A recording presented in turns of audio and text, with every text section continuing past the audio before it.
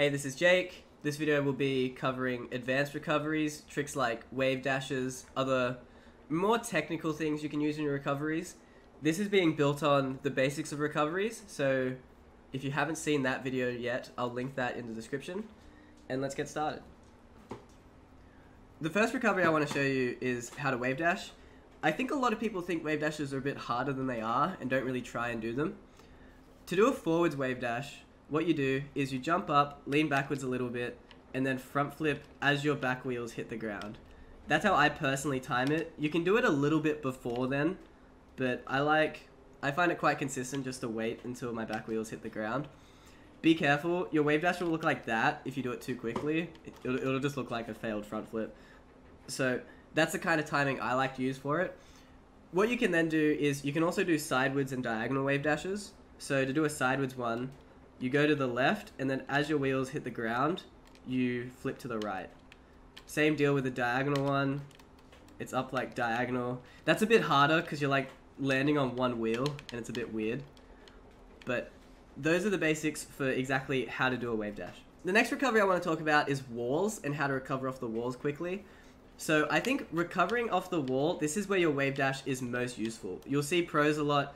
They'll jump off the wall and then use their wave dash like that. You can do a frontwards wave dash. You can do a sidewards one if you want. There's lots of different wave dashes you can do. It's really good. I should have mentioned this in the wave dash part. It's really good because a wave dash lets you then instantly flip, which lets you go quicker, okay? That's the main reason a wave dash is good.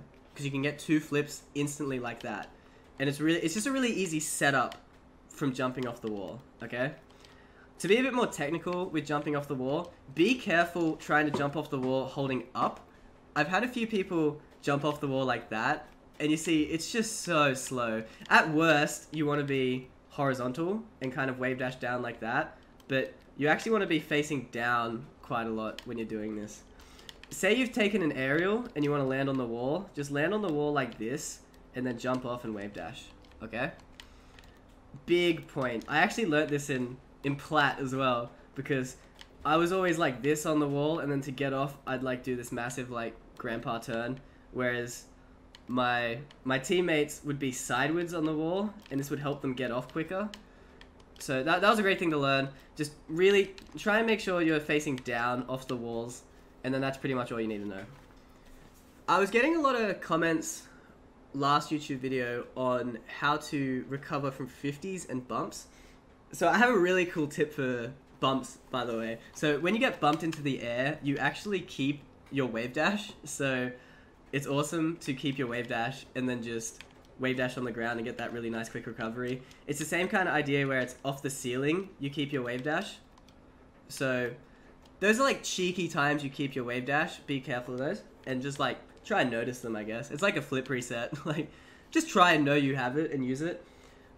With 50-50s and bumps, though, th there's nothing too special. So I guess a 50-50 recovery, I would just make sure I'm keeping up my speed, okay? When you do the 50-50, it's like keep on boosting and try and get back as quickly as possible. Try and avoid taking a 50, having no momentum, and then having to get all your momentum back. Instead, take the 50, try and keep up your speed, and then just get back like that. Okay?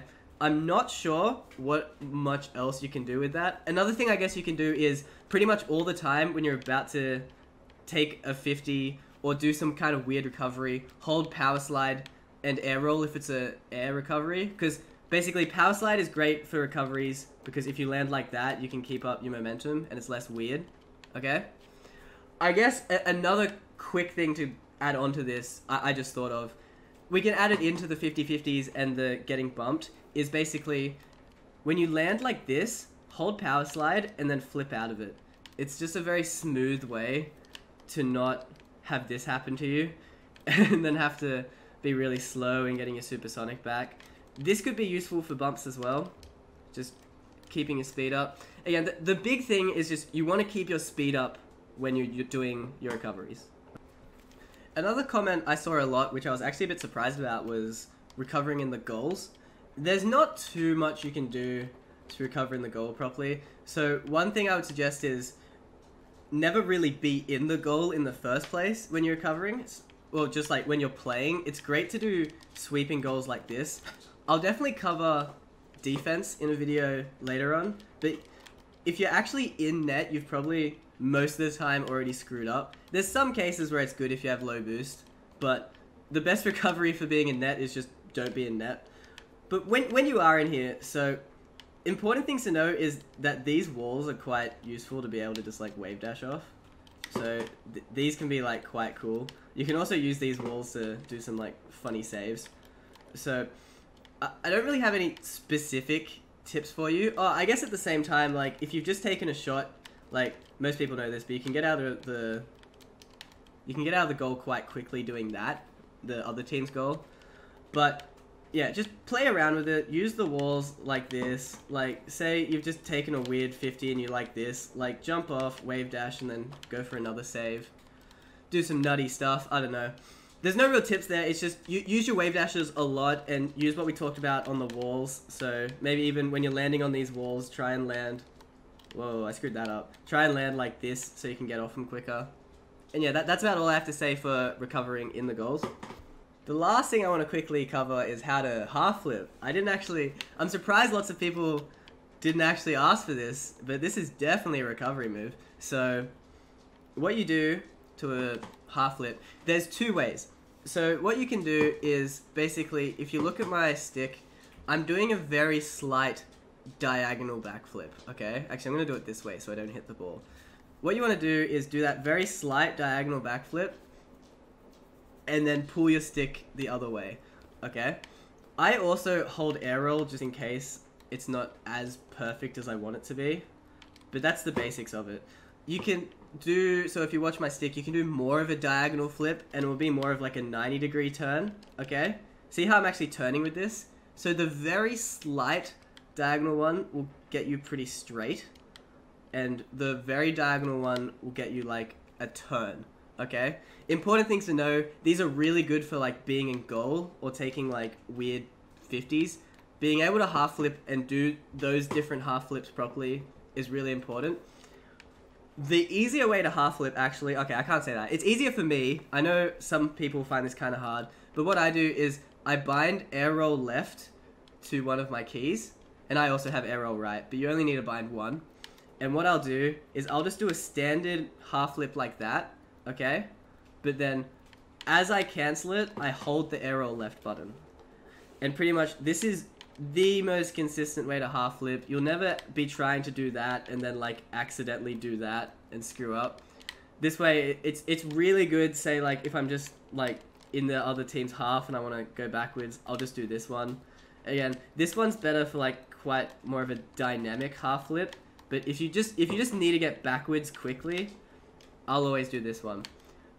Some half flip tricks to watch out for. So if you pull back too quickly when you're trying to cancel your flip, you'll end up pointing at the sky. So like this, you want to avoid that, okay? If your half flips look like this, it just means you're flicking your stick too quickly, okay? You can kind of see, if you see my timing, I'm actually pulling up kind of late. It's kind of like the, the how to fast aerial video. It's like, duh, duh, okay? Duh, duh. It's actually a pretty similar timing, actually. So, that's a quick tip if you're screwing up your half flips. Let me know in the YouTube comments if there's any other weird things about half flips that you want me to clarify on, because I know a few people have some weird problems, so let me know, I'll be happy to help. And that pretty much covers everything for the advanced recovery video. Comment again if I missed anything, I'll be happy to just quickly answer them in the comments still join the Discord course. This is week three of it. I'm going to open up the last three weeks to the public as well. So everyone get excited for that. And yeah, hit subscribe and thanks a lot. Good luck.